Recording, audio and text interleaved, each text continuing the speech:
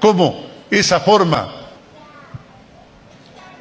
de perder seguridad y de ganar libertad es la que brinda las mayores satisfacciones. Porque uno puede tener un cargo fijo, ¿sí? Gana en seguridad, el fin de mes le pone su cheque, gana en seguridad, pero perdió en libertad. Perdió en libertad. En cambio, una persona que decide ponerse una empresa pierde seguridad. ¿Por qué? Aparentemente, porque no recibe cheque todos los meses, pero gana en libertad, en poder crecer tanto y cuanto él mismo quiera y él mismo pueda hacerlo.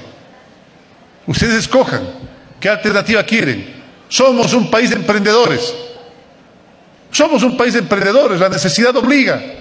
Es por eso que ustedes ven que en Guayaquil, un monito, perdónenme el término, no lo, digo en términos despectivos, un monito de cinco años ya se ha comprado una cola, unos vasos plásticos y está vendiendo en una esquina gaseosa.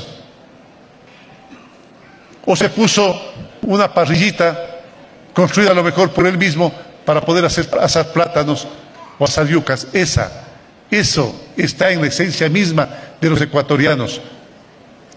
Los que quieran seguridad, pues adquieran un puesto. Pero por favor, la libertad te permite avanzar cuanto puedas, ser dueño de tu tiempo. Te vas de vacaciones cuando quieres, ganas la cantidad que quieres en función a tu esfuerzo y a los conocimientos aplicados a la práctica que vas adquiriendo. De eso se trata la vida. De eso se trata la vida nada más.